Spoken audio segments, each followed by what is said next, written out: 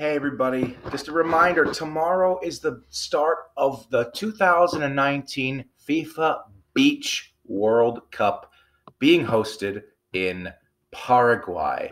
Um, I caught highlights of the 2017 Beach World Cup, and I gotta say, it was fairly exciting. A lot of the goals and the, the play on the sand is uh, takes quite some skill. It's it's very difficult to play on sand to play beach soccer on sand. Um, so if you're interested in something new, uh, as it gets to the colder months of the year, depending on where you are in the world, I strongly uh, urge you to check out. I'm sure FIFA will have highlights of it on their their channel on YouTube that you can look into. Um, I don't know what channels are going to be airing it though, in the U.S. or abroad. So that's something that you'll have to look up on your own. Um, but yeah, Paraguay's hosting. Brazil's the defending champs. I believe Group A is Paraguay, Switzerland, uh, USA, and someone else. Why don't I just pull it up here? So 2019 FIFA Beach Soccer World Cup. We have four groups of four, 16 teams total. Group A is the host nation Paraguay, Japan, Switzerland, and the USA.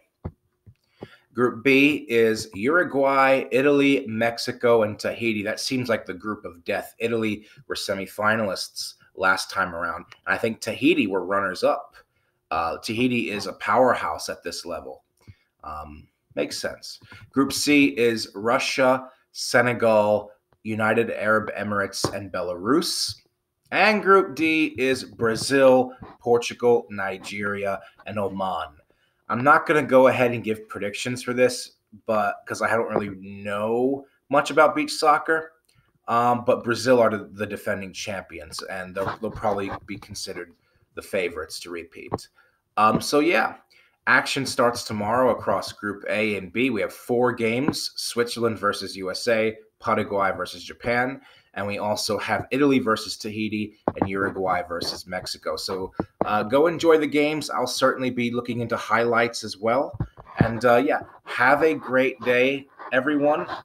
I will ho- hopefully make a- another video later today or tomorrow giving a Euro 2020 power rankings of the teams that qualified so far for the European Championship. I had a few people that are asking me to do so. So look for that to drop either today or tomorrow. So uh, until then, have a good one. Hopefully, I see you again, God willing. Much love and peace out.